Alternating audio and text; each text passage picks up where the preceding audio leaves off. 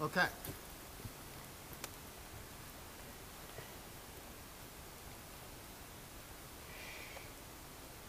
How to detach from what you don't want, you see. How to detach from what you don't want. And I'm put my hat on here. so let's first of all breathe. Breathe into your heart now. Right now. Always remember, just when in doubt, breathe into your heart now. Breathe into your heart now. Be right where you are, right now. Just notice where you are. And be right there. And we're together here. And acknowledging and knowing that I know who you are. And my work is to empower myself and you and all living entities to fully remember and be who we really are eternally. I call that the divine experiment.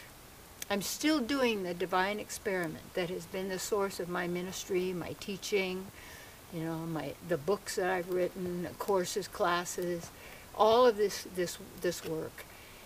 And the key here is we want to leave, here's the first thing, leave the the unconscious of, of the masses. Leave, leave this planetary consciousness. Leave this, uh, what do you call it, race consciousness. This is the race going on between all different races, and we're speeding somewhere as if we're going somewhere, speeding through space as if we're going somewhere, but you're really never going anywhere because you're always right there right now here. We're all, that's always where we are.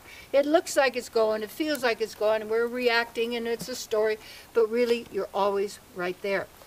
And do you say, wow, what does that mean? Okay, a lot of these things I say maybe you don't get right now, or maybe you do, or completely beyond it. I don't know, but it's it's like it's basic stuff. This is this is what what what is the basic teaching most people do not have because it's not being taught out there because they want to keep people in intense, you know, in, in fear and anxiety, because then people freeze and are immobile and will do anything to try and survive. And uh, so what we want to do, uh, and survival is not our purpose. We're already eternal life. We don't need to survive. And you need to maintain your body, obviously, and you want a healthy body. And uh, that's all, there's, there's a biological and a psychological cause for health and for any kind of sickness. And so when you know the truth of how everything operates, it sets you free.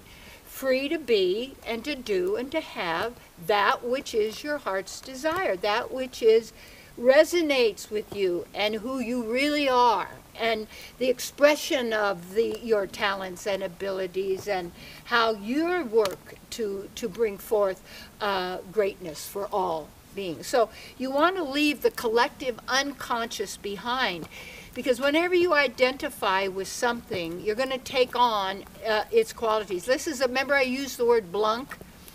So this is a trick in mind programming is to put everything into a box that and they say well like if i said all astrology is bad. No i never said that. I never i said i've gotten good things from it wonderful things and all that but also remember that it's also a limitation just like nostradamus and all of that kind of thing because what are they promoting is this astrological changes and never said anything good it's always horrible it's always bad and all that I don't, that's not my game plan, you see.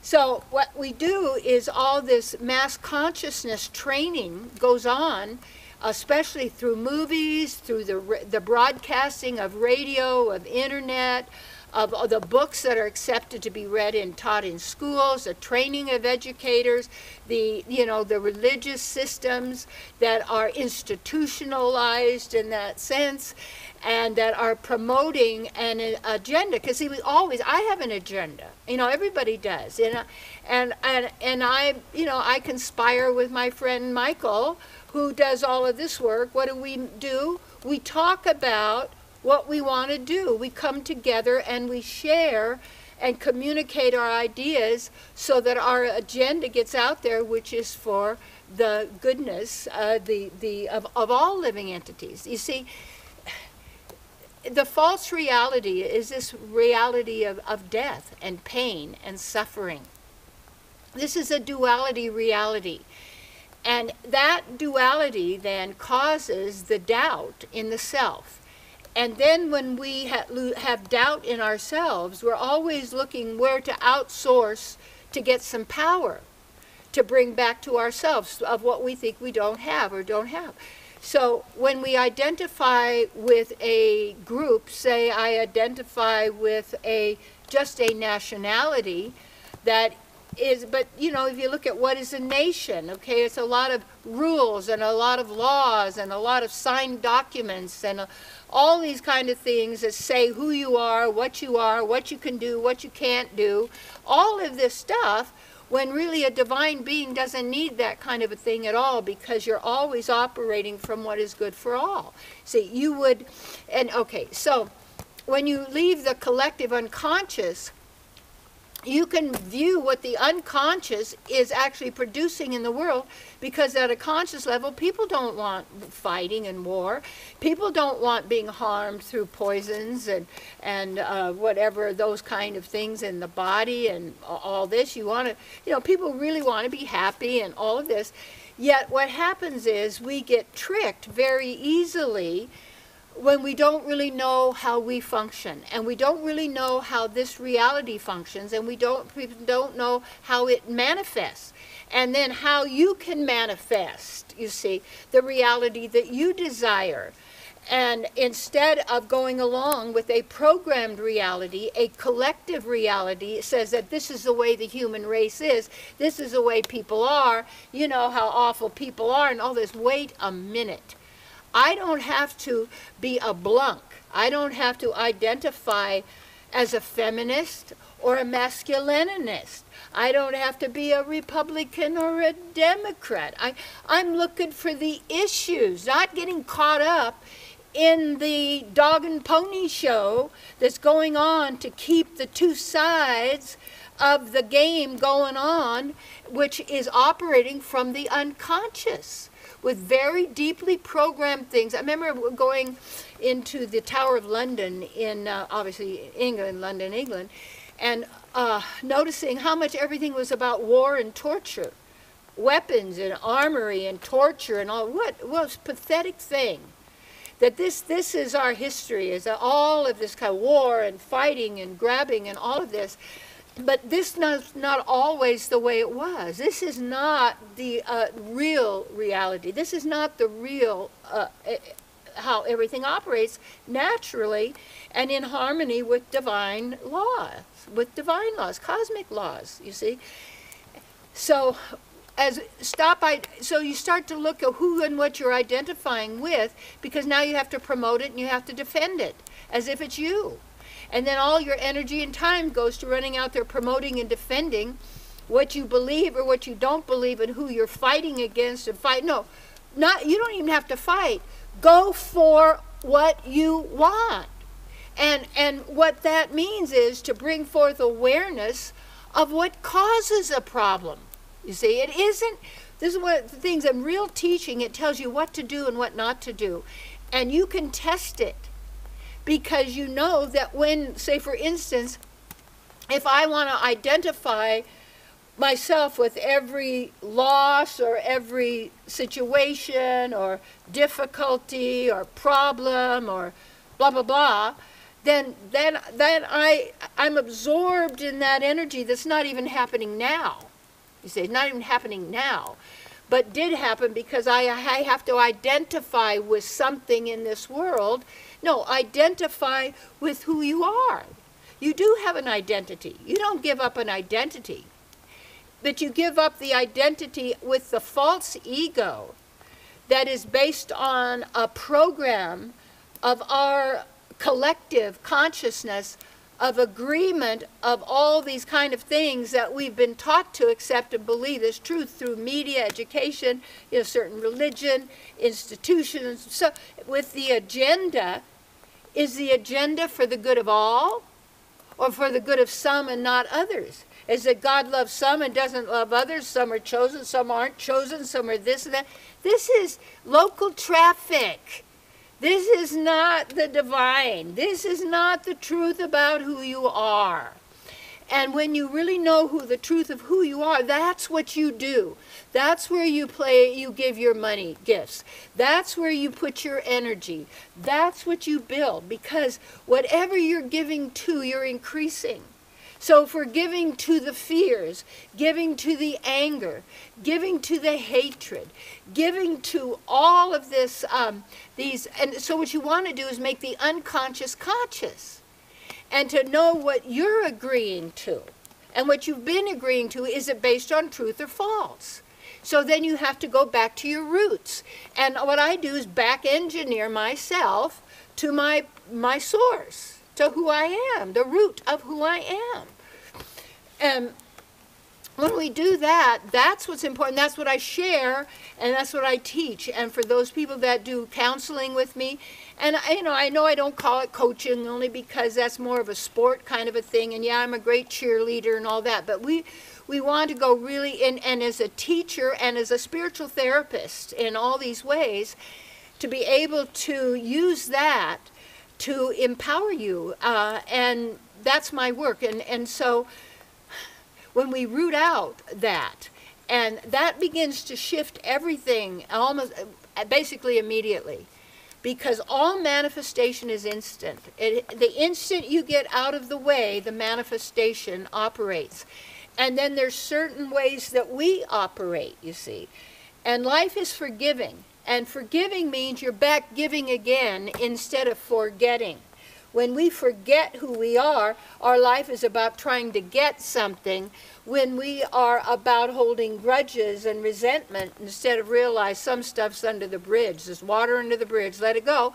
But you do know and take responsibility for yourself. You have the ability to respond, but you also have the ability not to respond.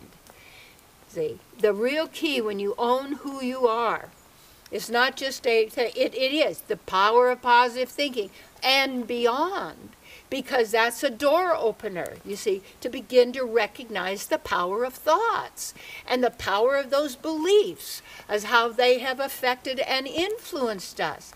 But when we work with the divine, we're operating, you see, in the land of full because we don't give our power to positive or negative we know we have to have your foot in both worlds, in this one and also in the spiritual, so that your er, wherever you walk is holy ground, because you're centered and you're also grounded in in nature and in the earth. So the real key is to manifest the life you desire, leave then the unconscious um, collective the beliefs of the unconscious collective. That's why what they think of you is none of your business because it's coming from their thoughts. And I have an article that's in the Lotus magazine now that you get, can get from Chico. You can get off the internet. I'm sure copies. Article just in there called um, "What You Think of You Is None of Your Business." Yes, and it does list some of uh, upcoming uh, uh, this great um, uh, seminar. It's uh, the spiritual experience of Shasta and inviting you to participate and and simply email me for information or I'll be having it up on the website terrycolewhittaker.com and I want to thank you for your contributions. I want to thank you all you for who are sponsoring this program because without you it wouldn't happen. And this because I want this to go out free. I want those who want that as well to get to as many people as possible to be to contribute whatever you can uh, to Adventures in Enlightenment. It's a nonprofit organization, and always it has been always putting the money back into service. It's always what I do, and there's uh, it's, it's using money as like uh, fertilizer you see, starting to look at it as not just junk stuff, but start to be conscious of it. And also the gifting, the bartering, the trading, the sharing, to bring ourselves back to who we are naturally without all these layers of ignorance that have been causing us to manifest, in a sense, this false reality of worship. With, you know, interesting, the word worship is a warship, a vehicle for conflict. That is not what it needs to be. Transform your religion. Transform your from the inside out. Take the best and dump the rest because you do know how to discern truth from false. And if it doesn't feel right, baby, it isn't right because you can know it. You can feel it in your bones and in your knowing and your truth, you see.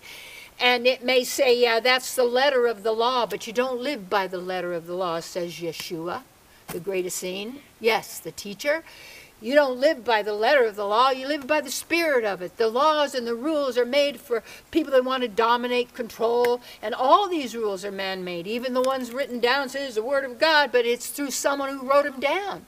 And what was their intention?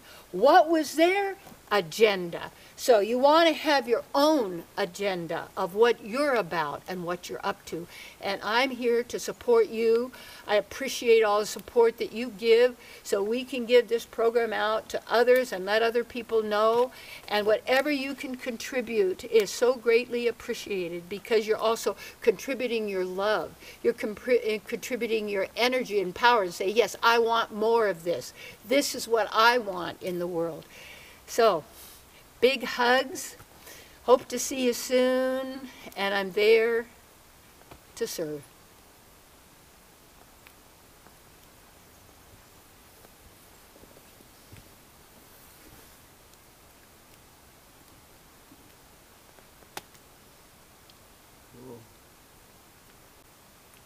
Wild.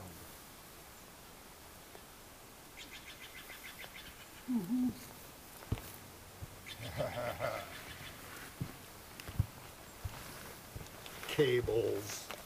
Wow, look at you. Mr. Big Time Cinema Maker. Well, yeah.